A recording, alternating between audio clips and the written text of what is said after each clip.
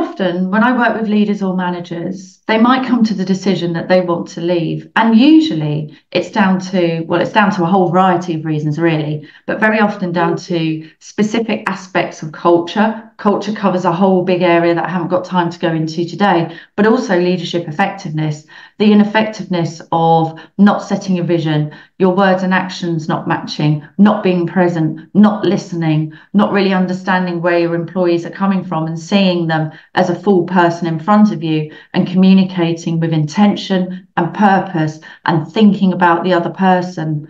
Every interaction you have as a leader you might be directly managing a team, you may not. Whether you consider, let's consider us, all of us as leaders, it's opportunity to engage someone or disengage someone. And it can happen like that.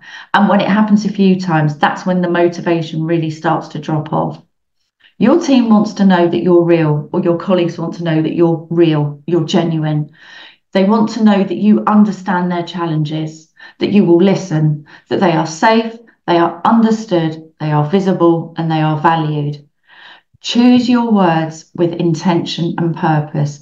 If you have to prepare, so be it, because most of your time as a leader should be about managing your team, managing strategic pieces. Anything that you can do should be delegated to your team.